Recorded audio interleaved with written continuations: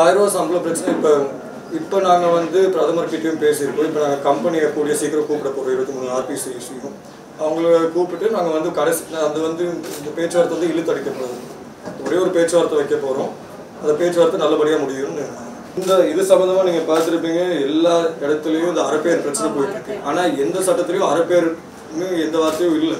இவங்க வந்து இதை அந்த காலத்துலேருந்து பண்ணிட்டு இருக்கனால இதை கண்டினியூ பண்ணிட்டு இருக்காங்க. ஆனால் நாங்கள் வந்து தெளிவாக சொல்லியிருக்கோம் யாருக்காச்சும் இப்படி அரைப்பேர் உள் உழுகிற நிலைமையாக இருந்துச்சுன்னா எங்கள் யூனியன் கிட்ட கொண்டாங்க. நாங்கள் அதை கட்டாயம் முடிச்சு தரோம் இப்போ எனக்கு தெரிஞ்சு அப்காட் அங்கே வந்து ஒரு அரைப்பேர் பிரச்சனை போயிட்டு இருந்துச்சு. கொரோனா பிளான்டேஷன் ஸோ அப்படி இருக்கும்போது நாங்கள் அவங்கள்ட்ட பேசணும் கொரோனா பிளான்டேஷனில் இருக்க நிர்வாகத்தில் இருக்க முக்கிய நபர்கள் கூட வந்தாங்க. அவங்களும் சொன்னாங்க இல்லை இந்த பிரச்சனை எங்கள் காது தான் வருது. நாங்கள் கட்டாயம் பண்ணுறோம் முடிச்சு தந்துருக்காங்க